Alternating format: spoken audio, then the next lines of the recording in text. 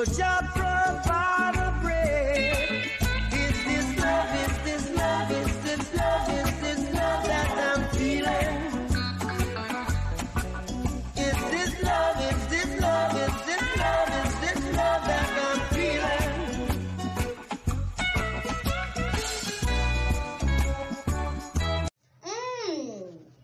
yummy. I am going to tell you about Tupapalooza. It is a famous dessert around Australia and New Zealand. To prepare pavlova, will you need eggs, sugar, white vinegar, vanilla extract, corn flour, strawberries, icing sugar, and double cream. Australia food sounds so delicious. Mmm, Nancy, are you feel hungry?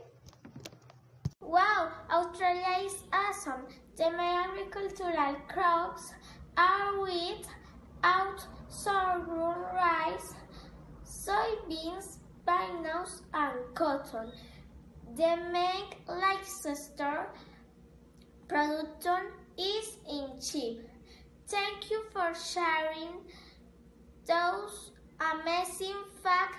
Let's go back to the studio. Oh, with typical Australian dish, fish and chips. In Australia. You need plain flour, eggs,